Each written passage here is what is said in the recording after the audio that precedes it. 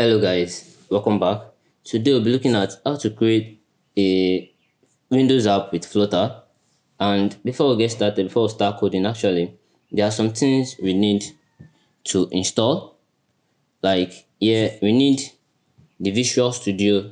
And we should know that visual studio is different from visual studio code.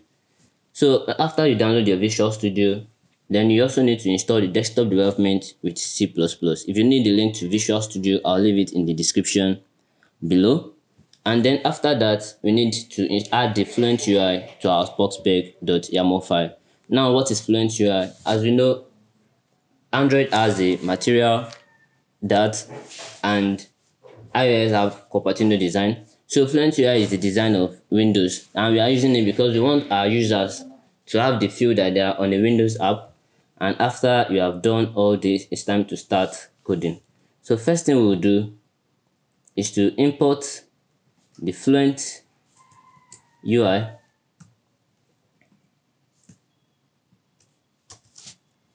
and after doing this I have our void main.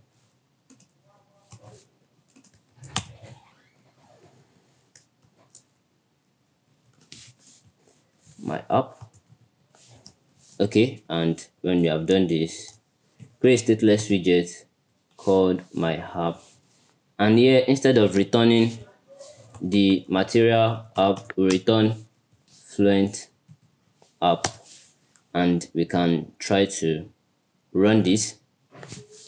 Now this may take a while but while running this i would love to show us that in case you've created your project a long time and you want to add the Windows, want to configure it to be able to run on Windows, all you have to do is flutter create platforms equals to Windows and add the full stop. And this will actually make it easy for your instead of just starting a new project just add this at the root of your project flutter create platforms equals to Windows and add this period at the back and it will actually create your Windows app and then you'll be able to run it easily on Windows. So let's wait for this to finish running actually. And here's our Windows app. So you can see it is a blank screen, everything is black.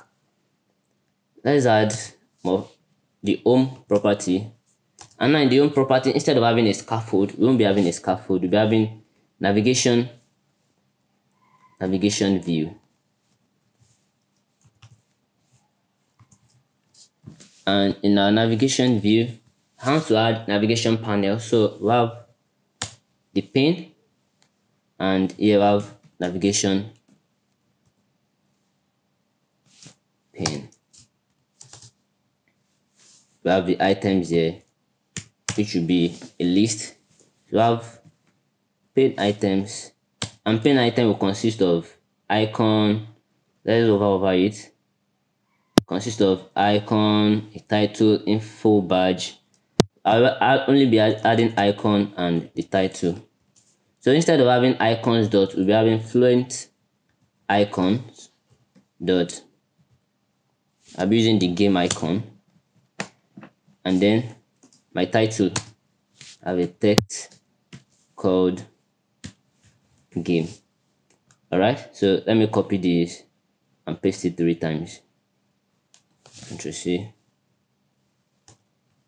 Ctrl V, Ctrl V, and if I save this, we have it now. So let me also add an app bar here. Uh, up, so navigation, app bar. I need the title as you know. The text should be fluent UI tutorial. And if I save this. Here it is but you can see a little a small icon pointing to the back. So to remove that just have your automatically imply leading to be false. And it is gone. Okay?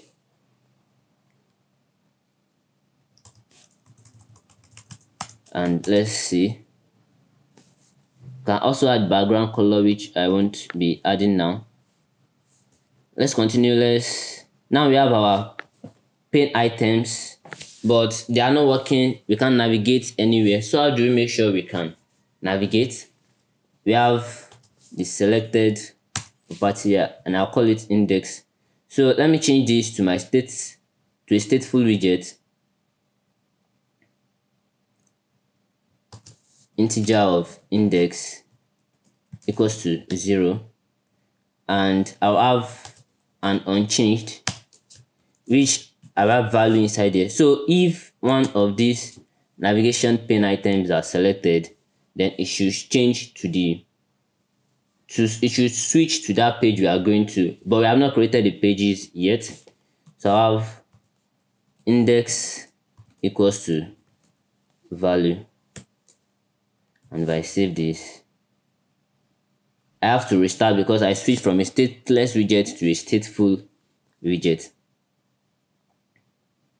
So if I should tap here we have not created the pages yet that's why it is not working yet. Also we can change how we want our pane items to look which will be display mode the pane display mode dot. We have all these but i love the compact so i'll be using the compact and now we are getting the windows feel now. Now let's add our body property. So here I have the content and I have the navigation body. We need some argument like the index and my index is equals to index. What else do we need?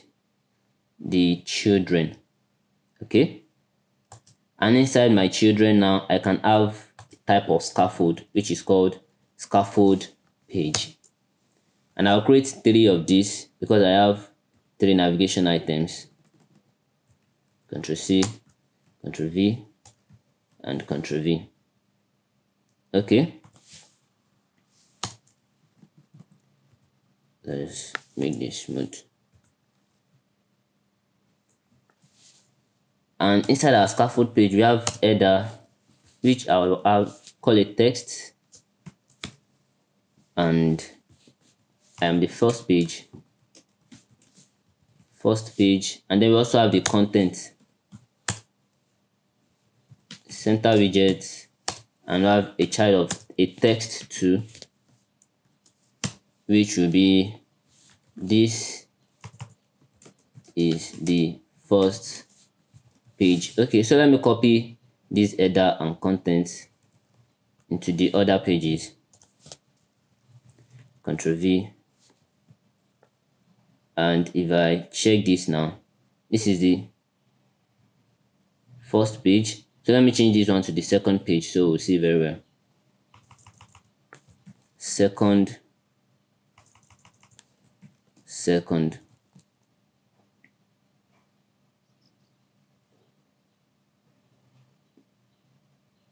Alright, I think it's not navigating or let me check what's wrong.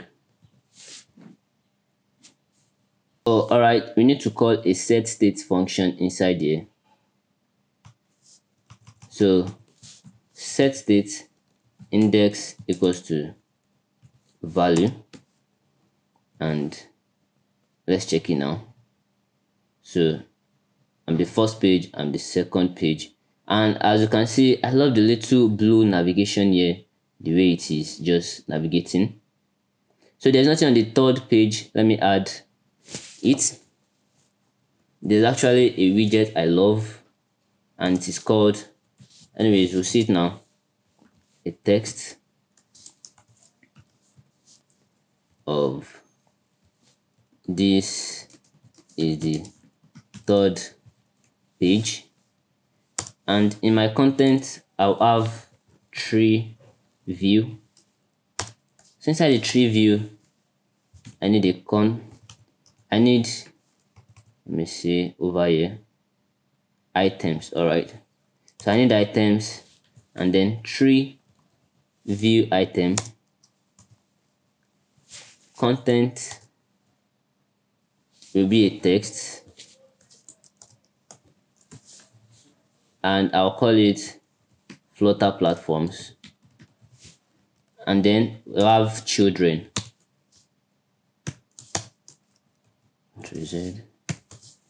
Which will contain tree view item too. So let's this will be a text of Windows.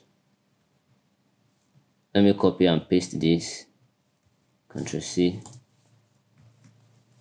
Windows, Mac, Android. So you can add any each of the platforms you want. I'll just be stopping here and we can see the three widgets. Also, you can read more about the things you can add here and also we can also add a theme to our navigation view. Affluent UI I mean. So theme let's check the dark mode. Theme dark and you can see you just have the typical Windows view. It's just looking as if you're actually building this for Windows and it is actually for Windows.